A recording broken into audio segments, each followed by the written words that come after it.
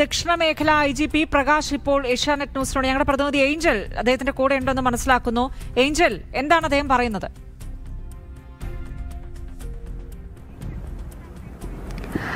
രജനി ഞെട്ടിപ്പിക്കുന്ന വാർത്തയാണ് ഇപ്പോൾ പുറത്തു വരുന്നത്. ഇതിനോട് പ്രതികരിക്കാൻ ദക്ഷിണ മേഖല ഐ ജി പി പ്രകാശ് ഇപ്പോൾ ഏഷ്യാനെറ്റ് ന്യൂസിനൊപ്പം ചേരുകയാണ്. സർ ഞാൻ നേരത്തെ സൂചിപ്പിച്ച പോലെ തന്നെ ഞെട്ടിപ്പിക്കുന്ന വളരെയധികം ഷോക്കിംഗ് ആയ ഒരു വാർത്തയാണ് പുറത്തു വരുന്നത്. പ്രാഥമികമായ വിവരങ്ങൾ എന്തൊക്കെയാണ് നമ്മുടെ കയ്യിലുള്ളത്? ഈ അന്വേഷണം തുടങ്ങിയിട്ടുള്ളത് കൊച്ചി സിറ്റി പോലീസിൽ കടവന്തറ പോലീസ് സ്റ്റേഷനിൽ കഴിഞ്ഞ മാസം ഇരുപത്തിയാറാം തീയതി പത്മാണ് പറഞ്ഞ ഒരു ലേഡി മിസ്സിങ്ങിന് ഭാഗമായിട്ടാണ് അന്വേഷണം തുടങ്ങിയത്. അതിന്റെ ഭാഗമായിട്ട് അവർ അന്വേഷിച്ച് വരുമ്പോഴാണ് ഇങ്ങനെ ഒരു സംഭവം തെളിവിച്ചിട്ടുള്ളത്. അപ്പോൾ ഇത് പത്തനംതിട്ടയിലെ ആറന്മുള സ്റ്റേഷൻ പരിധിയിലാണ് സംഭവം നടന്നിരിക്കുന്നത്. ഒരു ഭഗവന്ത് സിംഗും പുള്ളിക്കാരന്റെ ഭാര്യയും പിന്നെ ലേഡീസ് രണ്ട് ലേഡീസാണ് ഇതിനകത്ത് വിക്ടിംസ് ആയിട്ട് കരുതപ്പെടുന്നത് ഒന്ന് പദ്മാണ് പറഞ്ഞ കടവന്തറ സ്റ്റേഷൻ പരിധിയിലും റോസ്ലീൻ പറഞ്ഞിട്ട് കാലടി സ്റ്റേഷൻ പരിധി എറണാകുളം റൂറൽ അതിർത്തിയിലുമാണ് അപ്പോൾ ഈ രണ്ടുപേരും ഷിഹാബ് എന്ന് പറഞ്ഞ ഒരു വ്യക്തി ഇവിടെ കൊണ്ടുവരുന്നതും ഇവർ സസ്പെക്റ്റഡ് മർഡർ ചെയ്തിട്ടുള്ളതെന്നുള്ളതാണ് അറിയപ്പെടുന്നത്. ഇപ്പോൾ പ്രൈമ ബേസി ഇതിന്റെ എക്സുമേഷൻ അത് കുഴിച്ച് ഉള്ള ഒരു രണ്ട് സ്ഥലത്ത് എക്സിബിഷൻ പരിപാടി ഇപ്പോൾ നടന്നുകൊണ്ടിരിക്കും തുടങ്ങിയിട്ടുണ്ട് പത്തനംതിട്ട ജില്ലയിൽ. അപ്പോൾ ആ എക്സിബിഷൻ കഴിഞ്ഞിട്ട് നമുക്ക് കൂടുതലായിട്ട് വേറെ പറയാൻ പറ്റത്തുള്ളൂ. ഇപ്പോൾ എസ്റ്റിമേഷനും അതുപോലെ ഇൻക്വസ്റ്റും പോസ്റ്റ്മോർട്ടം കഴിഞ്ഞിട്ട് എങ്ങനെയാണ് കുളപ്പെടുത്തിയിട്ടുണ്ടെങ്കിൽ എങ്ങനെയാണ് കുളപ്പെടുത്തിയിട്ടുള്ളത് അപ്പോൾ ഇങ്ങനെ ബാക്കി അന്വേഷണം മൂന്ന് ജില്ലാ പോലീസും കൂടിയിട്ട് സംയുക്തമായിട്ട് അന്വേഷണം നടത്തുമായിരിക്കും. വിചാരക്രിയകൾക്ക് വേണ്ടിയായിട്ടുള്ള എന്നാണ് ഇപ്പോൾ പ്രാഥമികമായി ലഭിച്ചിരിക്കുന്നത്. അതിനെ സംബന്ധിച്ച് എന്തെങ്കിലും കൂടുതൽ എന്താണ് അങ്ങനെ എന്തെങ്കിലും വിവരം കിട്ടിയിട്ടുണ്ടോ? ഏത് കാരണമാണുള്ളതിനുള്ള വ്യക്തമായ ഒരു തെളിവുകളൊന്നും ഇപ്പോൾ ഒരു സംശയമേ ഉള്ളൂ. ഇങ്ങനെ ആയിരിക്കാം ഉള്ള ഒരു സംശയങ്ങളേ ഉള്ളൂ. അവർ ആദ്യമായിട്ട് ഒരു പ്രൈം പ്രൈമഫേസി പറഞ്ഞിട്ടുള്ളത് പോലീസോട് പറഞ്ഞിട്ടുള്ള ഒരു കാര്യങ്ങളേ ഉള്ളൂ. കൂടുതലായിട്ട് ഇനി നമുക്ക് ഈ എങ്ങനെയാണ് കുളപ്പെടുത്തിയിട്ടുള്ളത് കൂടുതൽ തെളിവുകൾ എടുത്തിട്ട് കൂടുതൽ ഈ സസ്പെൻസിനോട് ചോദിച്ചിട്ടേ നമുക്ക് കൂടുതൽ വിവരം അറിയാൻ പറ്റത്തുള്ളൂ.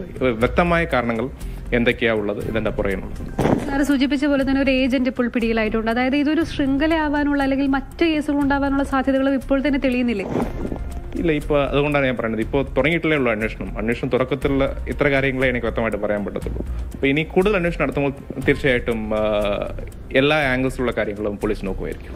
സി സിറ്റി പോലീസ് കമ്മീഷണർ തന്നെ നേരത്തെ നമ്മളോട് പ്രതികരിച്ചിരുന്നു. ഇതൊരു പക്ഷേ വളരെ സിഗ്നിഫിക്കന്റ് ആയ ഒരു കേസായി മാറുമെന്ന്. അങ്ങനെ തന്നെയാണോ ഇപ്പോൾ നമുക്ക് മനസ്സിലാക്കാൻ സാധിക്കും ഇതൊരു വ്യത്യസ്ത മർഡർ തന്നെയാണ്. സോ അപ്പോൾ അതുകൊണ്ട് തന്നെ ഇങ്ങനെ സംഭവം എന്തുകൊണ്ട് ഉണ്ടായെന്നുള്ളത് പഠിക്കേണ്ടത് അത്യാവശ്യമാണ്.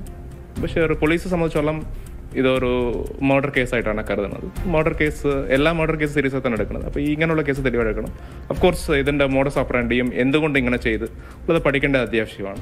അത് പോലീസ് ആയാലും സൊസൈറ്റി ആയാലും പഠിക്കേണ്ട അത്യാവശ്യം ഏത് കാലയളവിലാണ് ഈ സ്ത്രീകളെ കാണാതായത് ഏത് കാലയളവിലാണ് ഈ കൊലപാതകം നടന്നത്? അങ്ങനെയുള്ള വിവരങ്ങളൊക്കെ നമുക്ക് ലഭിച്ചിട്ടുണ്ട്. കാലയളവിൽ ആയെന്നുള്ളത് കാണാതായെന്നുള്ളത് വ്യക്തമായ അറിയാം പത്മാണ് പറഞ്ഞ ലേഡി ഇരുപത്തിയാറാം തീയതി കഴിഞ്ഞ മാസമാണ്.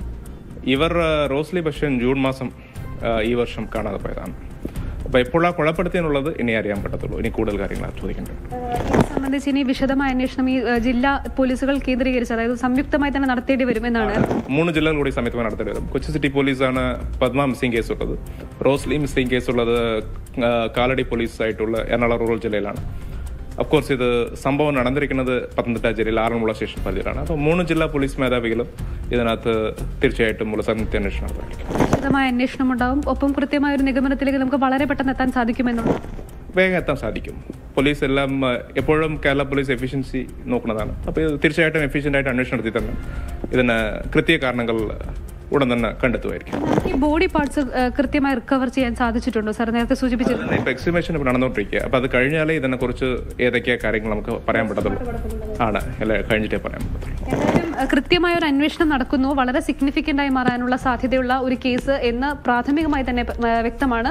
ബോഡി പാർട്സ് റിക്കവർ ചെയ്യാനുള്ള ശ്രമം നടക്കുന്നു. പോസ്റ്റ്മോർട്ടത്തിന് ശേഷമായിരിക്കും എങ്ങനെയാണ് കൊലപാതകം എന്നടക്കമുള്ള കാര്യങ്ങൾ സംബന്ധിച്ച് കൂടുതൽ വിശദാംശങ്ങൾ ലഭിക്കുക എന്നാണ് ദക്ഷിണ മേഖല ഐ ജി പി പ്രകാശ് ഇപ്പോൾ ഏഷ്യാനെറ്റ് ന്യൂസിനോട് വ്യക്തമാക്കിയിരിക്കുന്നത്. രജനി.